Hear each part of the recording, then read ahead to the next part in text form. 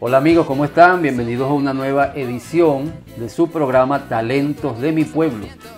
Programa que se transmite para la blockchain de High en la comunidad de ESPA Block. Hoy, nuestro programa eh, se llena de lujo, vamos a decirlo así, porque tenemos un gran invitado, un gran amigo de acá de la ciudad de Villa de Cura. Él es un compositor y músico de la banda Daniel in the Sky. Ya estaremos hablando un poco más durante el desarrollo de la entrevista. Pero además, hijo del ilustre docente, ya desaparecido físicamente, Alfonso Hurtado, gran pedagogo de nuestra ciudad, quien recordamos con cariño siempre. Entonces vamos a recibir con un fuerte aplauso a nuestro invitado, el amigo Arnaldo Hurtado. Naguará, sí, súper, súper Bienvenido, agradecido, es un honor, eh, profe, Naguará, increíble. Eh, la representación que, que hace el programa de ustedes es sin duda una de las cosas maravillosas que hay que resaltar en el municipio. Eh, también tengo un enfoque de resaltar lo positivo, de, ya está bueno de tantas cosas negativas que hemos tenido en los transcurso de 30, 40 años de, nuestra, de nuestra región y esto es un- una gota que, que es necesaria, Así necesaria es, repartirla. Entre tantas cosas malas, Correcto. tenemos estas opciones, ¿verdad? Sí. Y, sin, y sin pisotear a nadie, sin llevar a nadie por delante, sino más bien incluirnos y, y apoyarnos entre todos. Tener la, la certeza de que sí podemos hacer cosas positivas, sí podemos hacer cosas buenas y que sea un ejemplo a nuestra sociedad, esos niños que vienen eh, subiendo pues, de la escuela para acá, que nos vean de, esa manera, haciendo cosas, ellos también a lo mejor les, les llamará la atención. Eh, yo quisiera ser como, como Gabo, yo quisiera ser como Gabeliño, quisiera ser como, como esos grandes artistas que, que gracias a estas plataformas se pueden ver y se pueden compartir. Y que previamente conversábamos del gran potencial que existe acá en la ciudad de Villa de Cura. Ya le decía a Yusmi, quien está ahorita operando las cámaras, que tenemos como para hacer 2.000 programas, por lo Ya menos, más. de la cantidad Ya de artistas en todas las especialidades que hay, la música, dibujo, pintura, poesía, bueno, etc. Bueno, Arnaldo, ya las personas sabían que eh, estarías aquí con nosotros el día de hoy y comenzaron a llegar los mensajes para ti, ¿correcto? Cristo Dios. La usuaria arroba Sayuri quiere saber dónde naciste, si eres villacurano y en qué sector resides actualmente. Eres Sí, de la villa, ¿no? soy villacurano. eh, voy a hacer una anécdota rapidito ahí entre el transcurso. Desde que nací siempre tuve un problema, siempre había un choque. Eh, primero nací con eh, destocardia, es decir, que tengo el corazón del lado derecho. Aparte de eso, en ese tiempo, todos los doctores decían que yo duraba era una semana. Aparte, amanecía amarillo, tenía complicaciones, pesaba casi 4 kilos me lanzaron para Caracas, me lanzaron para Maracaibo, entonces tenía ese, conflicto de mi mamá, bueno, preocupada, mi papá, eh, en honor a, mi salud, me, pone Arnaldo Coromoto. Y, siempre mi papá fue un hombre de fe, lo aprendí bastante de él, siempre el ejemplo y las cosas que, que manejaba. Luego nos quedamos aquí, mi papá es de Camaguán, nos, nos íbamos a Calabozo, así, de visitas, durábamos dos, tres años, pero siempre, siempre Villa de Cura. No sé, y ahorita viviendo en actual- Funda Villa. en Funda Villa 2, correcto. Otro mensaje por acá, ¿en cuáles escuelas o instituciones cursaste o cursas estudios actualmente? Ah, Un eso- repaso rápido. Eso fue terrible porque en ese tiempo mis hermanos eran mayores que yo, yo soy el menor de, de los cuatro. Y no tenía en ese tiempo quien me cuidara. Entonces mi papá daba clases en el Simón Rodríguez y tenía que ir de los dos años. Entonces estudié en el Simón Rodríguez de los dos añitos. Entonces Pero era en, cada salón, sí, en cada Ah. salón yo me metía hasta que ya me llegó el turno de verdad de, de- de- Increíble, ¿verdad? de- de- de Entonces, estudiar. hiciste hasta el sexto grado allí. Es, es- sí, en el Simón Rodríguez, luego en Michelena, porque mi papá también daba clases en- en, en el Santo el Santo Michelena. Michelena. Mi papá daba clases en las tardes con el profesor. Y, Y yo, Barrios. exacto, yo me, me metieron en, en la mañana. Ah, Entonces. Como éramos contemporáneos, eh, María Licón Y yo, que María con, con Argeni, y yo con, con- nos pusieron en diferente. No, eso no se puede mezclar mucho. Bueno, qué bonita infancia, Sí, ¿verdad? demasiado, demasiado. Arnaldo, chévere. Arnaldo, ¿cuándo descubriste que tenías vocación o cualidades para la música? ¿A qué edad si puedes recordarnos? Cuéntanos la historia. ¿En qué momento te diste cuenta que la música iba a formar parte de tu vida? Sí, creo que en diciembre a mi papá le gustaba mucho tocar. Agarraba siempre un todo, dos cucharillas. Y la percusión. Y la- el amparito, eso no pela. En las navidades no pelaba el amparito y él le fascinaba el amparito. Y él, yo estoy viendo lo que estaba haciendo. Y yo agarré el todo, porque él fue a orinar, y yo agarré el todo. Y yo le estaba dando como él estaba dando. Entonces, estás alegrestado, pero sí, más o menos va. En el oído. el Entonces después, exacto, después cuando me hace la- el mecanismo, lo hago y ya era cotidiano para mí. Entonces desde ahí yo agarraba muchísimas músicas y quería hacer lo mismo que estaban haciendo, lo que estaba escuchando. Pues. Increíble, después mi mamá me bombardeó con las canciones de ella, o sea, Gees, Beatles. Eh, mi papá mucha salsa, mucho merengue, mucho paso doble, bolero, el cigala. Mucha influencia Demasiado, me, me contagié.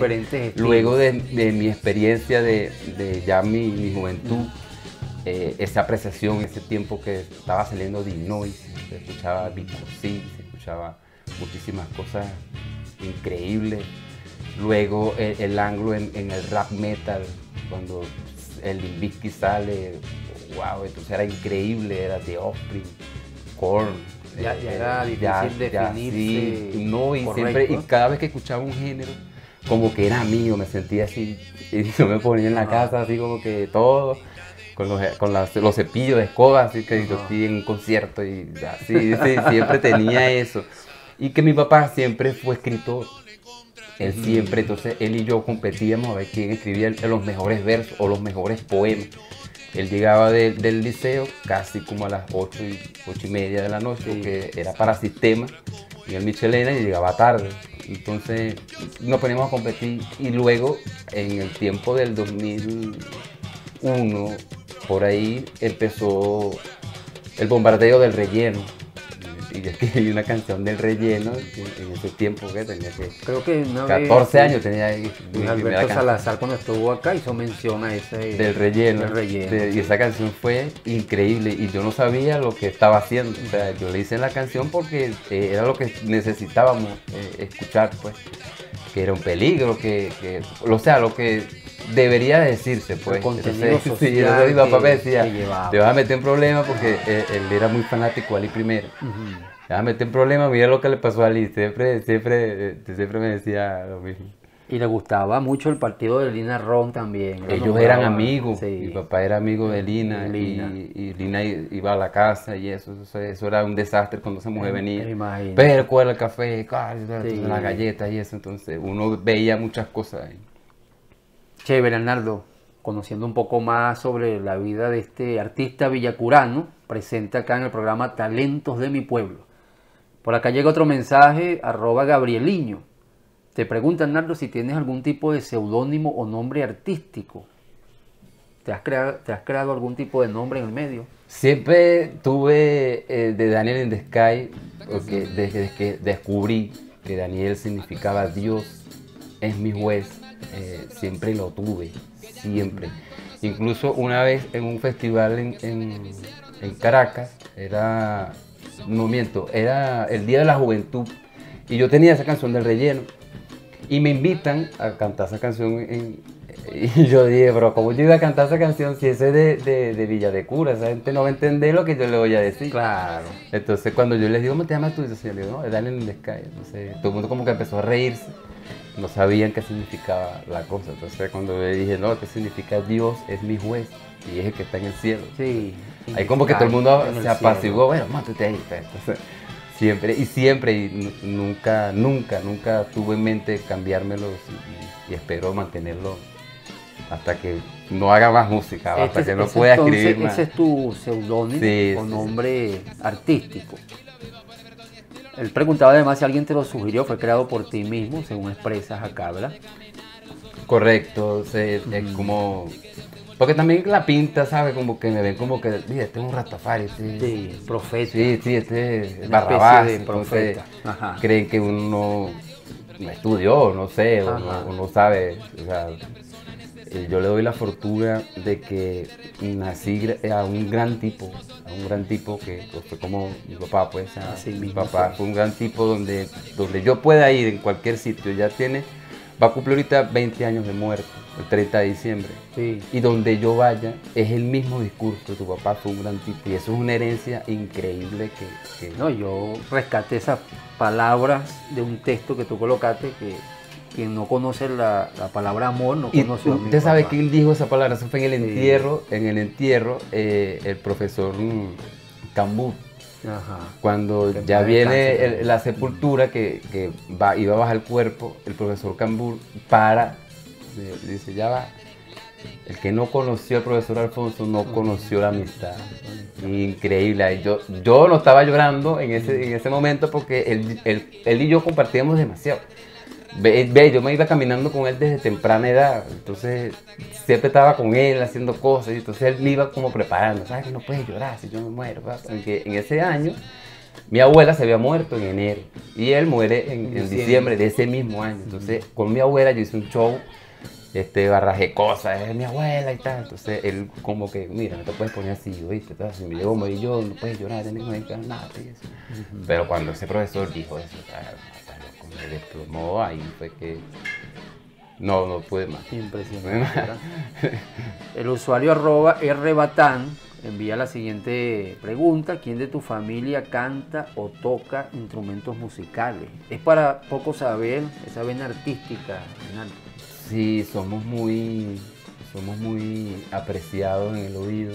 Mi sobrina, eh, Edalí Valentina, que salió de la escuela de música, le toca violín, De acá, increíble, sí, eh, este, canta increíble.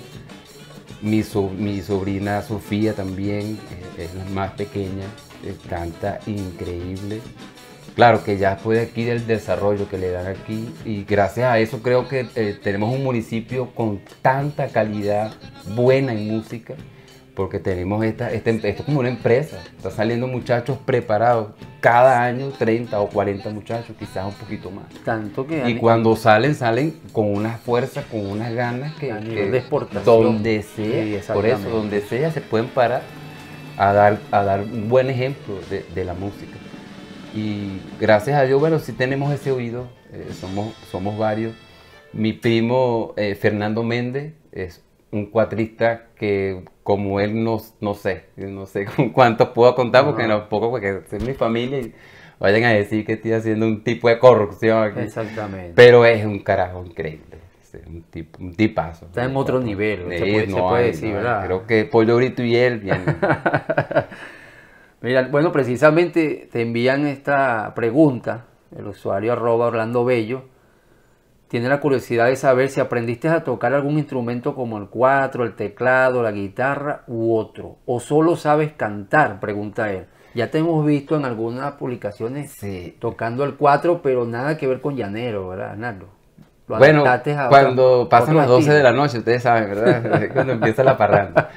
Pero eh, la guitarra la aprendí a tocar solo, eh, con tutoriales en YouTube. Me regalaron una guitarra y empecé a escribir la canción. Esa de, del relleno fue la primera que, que compuse Con la guitarra. con la guitarra. Este, luego conocí a, a Carlos Licón. Me dice, pero esa no la puedes tocar así, tienes que tener una pista. Y gracias a Carlos Licón fue que me llevó de Arquímedes Acosta en San Francisco de Asís, que tenían unas pistas y me dieron las pistas y yo empecé a, a cantar sobre las pistas. Nació la canción de, de- del relleno. Luego, pero a mí me gustó eso de, de- la guitarra, pero para yo componer, nunca me llegué a, a poner así como que quiero tocar otra canción de, no, yo no sé, yo tuve algo, quizás es algo malo o quizás sea algo bueno, pero siempre me enfoqué en componer, siempre quería hacer canciones, quería hacer canciones. Eh, Fernando siempre estaba con el 4 y yo decía que yo no tenía necesidad de aprenderlo porque ya estaba Fernando. No, no ¿qué hacer aprendiendo eso? Entonces, y él me decía, eso es fácil, pero ¿cómo yo voy a hacer fácil? Yo hacía unos disonantes que eran, eran terribles, yo no, que yo no puedo hacer eso. Entonces, la, la batería la aprendí gracias a mi papá por el, por el, por el oído, de- de- pero nunca tuve un- una escuela como tal. Hasta que hace como 10 años me compré mi batería y yo mismo empecé a darle a la batería. Claro, eh, no toco como Joemar, ¿sabes? El que está con nosotros en la banda, porque esa, por favor. Ajá. Pero sí le daba, le daba como que las basecitas dentro de lo que yo estaba escuchando y de lo que yo necesitaba componer. Me hacía falta un toque, un toque y, y así. El piano eh, me lo compró mi esposa y increíble fue que yo empecé a hacer como efectos dentro de la canción. de Sí. saludar, ¿no? Sí, está acá presente en la programación. Este, increíble cómo yo necesitaba hacer efectos. Luego empecé a buscar cómo ellos hacían la- esa parte de, de pista, ¿sabes? Esa parte- ¿Piano dijiste, Anero, o Sí, teclado? el teclado, el teclado, el Teclado, teclado. ah, Entonces empecé y hacía las bases, busqué cómo era. Y, eh, prácticamente empecé a tocar O sea, casi las cosas. paseado por varios instrumentos, Sí, como que el jefe mío me dice que soy salido, pero es que Ujú. es la única manera que tú puedes aprender. Sí, sí. Y, y que siempre me rodeé siempre de gente más grande, más grande que yo, siempre. Y siempre busqué eso de que tenía que relacionarme con gente que sabía más que yo, a juro, juro. Era la única manera como que para mí eh, saber, conocer. Y entonces, mira, si no es, pues, ok. Hasta que y empezaba a, acomodar las cosas. Y el 4 lo agarré porque mezclé el reggae, el 4 que tenía lo partí, se me partió. Y mi primo David, David Alfredo Río, me lo acomoda y me dice, te lo voy a poner más delgadito del, cua- del 4 común, para que puedas tocar tu, tu reggae. Eh, porque en la guitarra no me, no me gustaba cómo sonaba para arriba, ¿sabes? porque con la eléctrica sí suena como el ska. Y en el 4 lo, aproveché eh, por eso, para componer las canciones, para probar la base del reggae. Y eh, hasta que busqué, busqué los acordes, busqué a- a personas que sabían tocar, por lo menos Fernando, entonces me dieron como una media clasecita ahí. Y al ritmo la.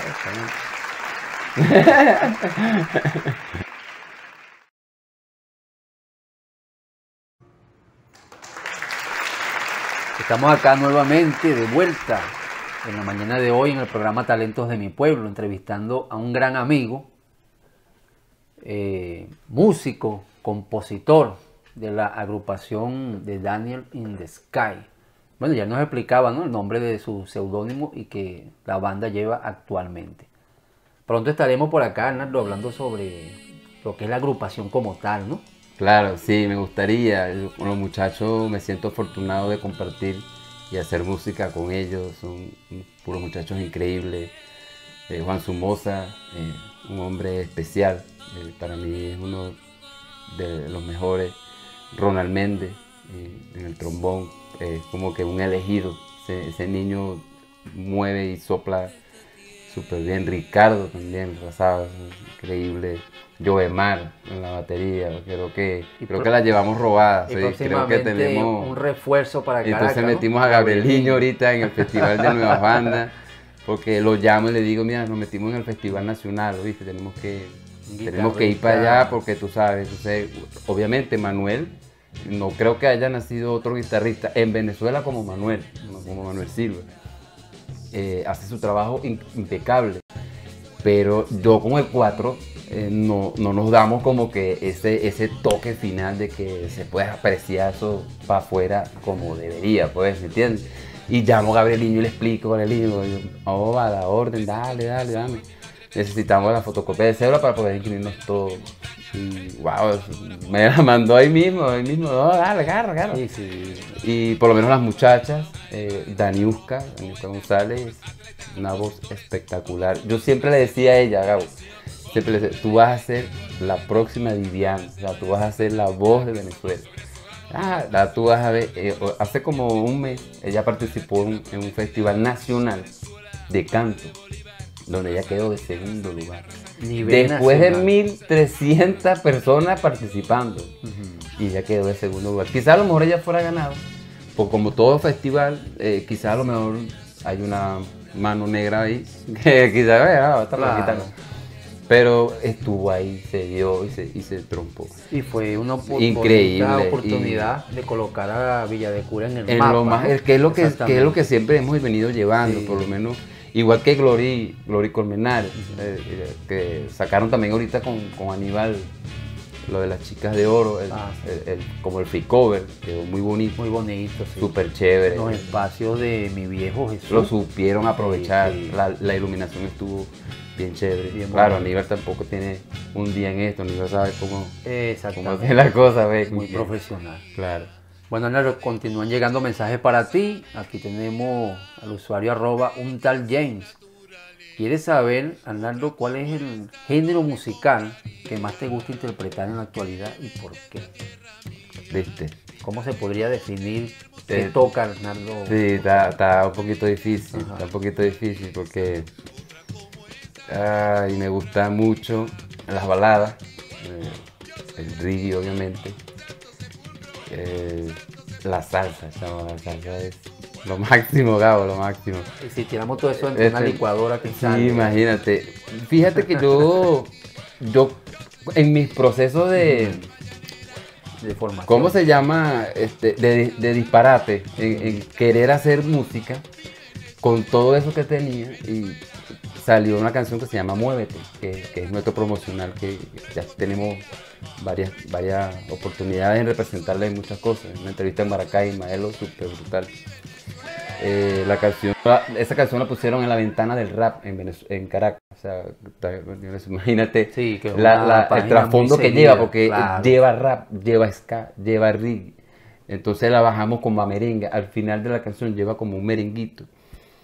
Un merenguito venezolano ripiado. Mm. Entonces, eh, de explicarte, eh, pero sí, un amigo que, mm, que se llama Alexi, él, él es un tallador de sillas de caballo. Eso creo que tú lo conoces. Eh, dice- artesano. es artesano, me dice, Arnaldo, eso tiene que ser algo multicultural. Cuando él me dijo eso, eso me resonó porque dentro de mi locura ya me dice, no se me había ocurrido esa palabra.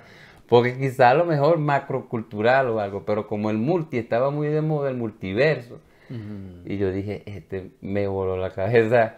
Yo dije, sí. Dio en el clavo, ¿verdad? Dio a dónde era. por eso que, ve, como te venía diciendo, a mí siempre me gusta andar con personas así como que ma- mayores que, no, que uno, pues, ¿me entiendes? Siempre, yo siempre, yo tengo amigos de 45, 50 años. Claro. O Bueno, sea, yo era amigo de tu padre. Imagínate, y- y no lo sé, veía, pues, pues, este, siempre me gusta que, que- que como que, no que nos corrijan, porque quizás a lo mejor esa no es la, No, no, es la no. palabra, porque la no. verdad no existe. Si no ese verso Pero si te, mira, a lo mejor estás por aquí, estás un poquito que mal. dice que cuando yo ¿Ve? crezca quiero ser como tú, ¿no? Algo así. Ah, ajá, algo como Ah, que... Algo así. Por aquí llega otra pregunta para ti, Arnaldo, que si admiras o estimas a algún artista del género en especial, bien sea local o de fama mundial. ¿Quién o quiénes de ellos te han servido de inspiración en tu carrera? Pero es que hay ¿Cómo varias cosas, eso? porque hay varias cosas, porque por lo menos eh, para escribir, eh, Ali Primera, la, furia que, que- que tenía el lápiz de él, eh, Su contenido. demasiado, demasiado. Y, y él, le sacó una canción a cada estado, a cada estado tenía, tenía una canción, era por, por la visión que él tenía, por lo menos me iba a presentarme en, en- en Paraguaná y tengo que darle una Ah, canción. Entonces ellos ya estimaban a- a- al artista. Eh, son cosas en ese tiempo que es que son, son personas que nacen una sola vez. Sí, sí. Así, Visionaria, Son ¿verdad? personas Como- que nacen una sola Con vez. una inteligencia superior. Entonces, eh, para escribir, creo, creo que Ali ha sido demas- demasiado, demasiado. Franco Evita también, porque me gustan mucho las baladas, me gusta mucho ese tipo de cosas. Me pueden ver con este estilo, pero eh, son muy románticos. Me gusta escribir poemas, eh, los, los versos que digo en cualquier situación. Me, me gusta a veces escribir versos, eh, por lo menos en el Facebook. ¿Sabes que tú pones una foto y pones algo motivacional? Que te robas de la Biblia, pones el, el salmo no sé cuánto. Eso. Pero a mí me gusta hacer lo mío. Eh, por lo menos X cosa, me pongo en el lugar de mi hermana que está despechada, entonces meto un verso de, "Bueno, brutal". Entonces dicen que soy yo el que está despechado, "Ah, tú estás despechado, "Ah, no, amiga, todavía no, me falta billete, lo que quieres es billete. Entonces eh, me gusta ponerme porque eso es, es- es el arte de uno, saber y, y eh, palpar lo que está sufriendo el otro y sentirlo y transmitirlo. Cuando tú lo escribes, lo transmites y pega y llega, es porque lo tienes, pues, ¿entiendes? Y si yo te, te preguntara por tu estilo, ¿verdad? El outfit. Ajá. ¿De, de quién te inspiraste? ¿Qué sé yo? ¿O es algo Este, original 100%? no Pues, sé. Me parece que esos lentes Va. son de John Lennon. Hay que buscar otro, otro parecido a mí, ¿verdad? Hay que ver. Este, sí, Está creo bien. que me robé muchas cosas de mucha gente por, por lo mismo. Y lo Por- positivo por, siempre, sí, ¿verdad? Por la locura. Creo que, Exacto. creo que el gorro se, se lo quité a Jamiro. Ajá. Eh, los lentes a John Lennon, obviamente. Eh, eh, creo que la chaqueta es de, de Freddy, Freddy Mercury, que Ajá. sabes que es nazi, lo que tú sabes. y obviamente el- la, la ropa ancha del rap, de- que yo me enamoré de eso, imagínate, yo, yo rapeaba sin saber que eso era rap. Y, y- y hacía cosas que yo no sabía que era eso, que, que tenía significado. Entonces, imagínate, en ese tiempo estábamos en la casa muchísimo, muchísimo. Carlitos Mena, eh, Luis Alfredo, eh, había mucha gente, la esposa de él en ese, en ese momento, Petit. O sea, eh, estábamos en la casa haciendo cosas, había un muchacho que se llamaba el juez, ¿de acuerdo? Que, que hacíamos cosas que de nosotros, eh, porque nos empezamos a regar. No era como ahorita que tú tenías una página y yo te podía ver, ¿no? Nos empezamos a regar, fue nosotros mismos ahí haciendo cosas. Vámonos, vamos a la casa de, Claro. de Arnaldo, dale, vamos allá en la casa, vamos para la casa de la cultura. Entonces ahí hacíamos cosas eh, de, de- de rap pues, y eso. Entonces Carlitos siempre le gustaba eso, de, de estar grafiteando, de hacerle dibujo a las cosas. Carlitos siempre llevaba eso, sí, y todavía. Todavía Carlitos está eh, haciendo arte, cosas en el en el arte, en el arte de la pintura. Y entonces